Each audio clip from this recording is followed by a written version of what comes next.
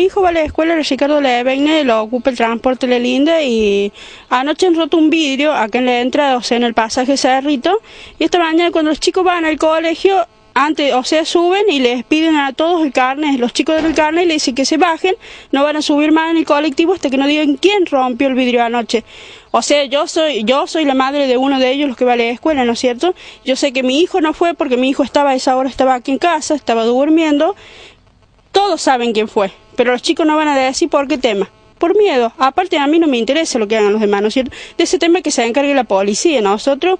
Pero me parece eh, una discriminación de que le saquen el pasaje a los chicos que van a estudiar solamente para que digan quién fue.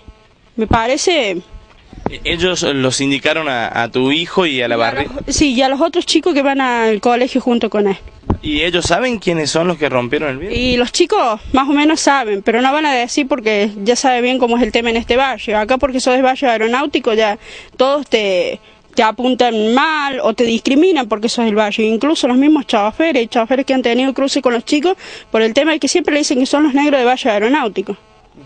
¿Esto es con frecuencia? Y sí, la, mayoría de las veces sí.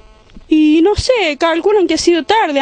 Yo no te puedo decir bien la hora porque yo, como te digo, nosotros nos acostamos temprano, así que no, no, no te podría decir bien la hora que hora ha sido. ¿Habría sido una pedrada? Sí, supuestamente le han reventado el vidrio una pedrada. La, la, cuestión es que ellos ahora no pueden acceder al colectivo, no pueden dirigirse hacia Villa Dolores en el transporte, ¿no? Esta es la disposición que tomó la empresa. Sí, no, a Villa Dolores no, hasta la Piedra Pintada porque ellos cruzan el río los Ricardo Leven. Así que por ahora le dijeron que hasta que no vayan los padres y digan quién fue el que rompió el vidrio, ellos no suben más al transporte. ¿Fue un vidrio delantero o de atrás de las ventanillas? No, no, ni idea, ni idea cuál fue porque yo no vi, no sé, yo sé lo que mi hijo me contó y cuando vino hace rato que salieron antes, no sé, la verdad que es hasta donde yo sé.